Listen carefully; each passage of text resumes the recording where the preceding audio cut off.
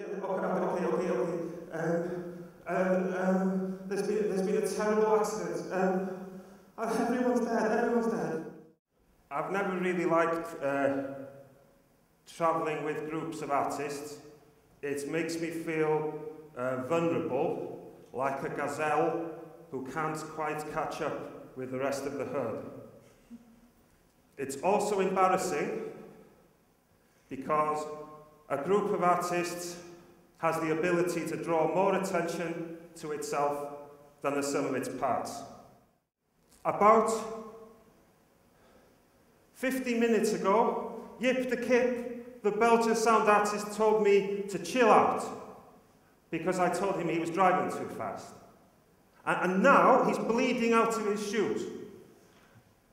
The Chinese artist is dead, still listening to her iPod, Karen Baumgartner is dead, and the Peruvian is still on the telephone, and he's dead.